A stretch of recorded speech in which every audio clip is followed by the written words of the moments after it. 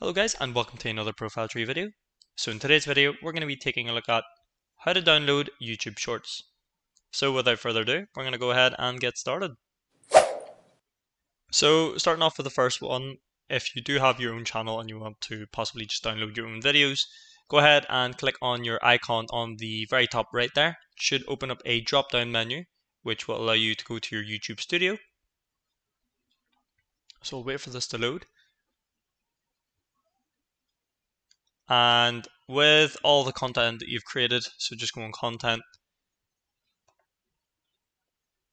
you could see any of the videos here. All you need to do is click on your ellipsis which is your options and go ahead and click on download. So that there gives you the option to download the video that you want. So there's plenty on our channel, of course, that we can download. So that's great, especially if you want to back up any of your files and you've lost a file, but you have, you have it uploaded on YouTube, then you can go ahead and do that.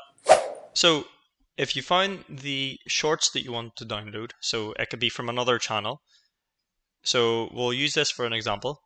Go ahead and click on share. Now this applies for uh, the same for mobile. You can go ahead and use Safari on it. Now click share and go ahead and copy that link. Now, if you go onto your search bar on the very, very top of your actual uh, tab, paste that in. So I'll actually show you on screen what I'll do.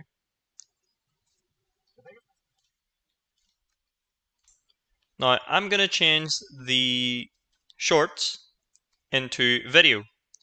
And once I've done that, you can now see that the shorts has now been converted to video. So the last thing to do then is to go ahead and click on the download button on the bottom there. So of course, uh, the only way to download this is to have premium. Uh, of course, if you do use any other sort of platform to download the video, it will go against the guidelines for YouTube. So just be aware of that. But there you have it guys, that is how to download YouTube Shorts. Nice, quick and easy to do. If you found this video helpful, please do leave a comment in the comment section below. But other than that, I'll see you guys for the next video.